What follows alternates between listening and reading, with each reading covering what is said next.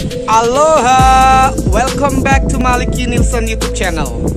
I'm in one of the great and famous beach that we call Kuta Mandalika. This beach located in the south part of Lombok. What makes this so special?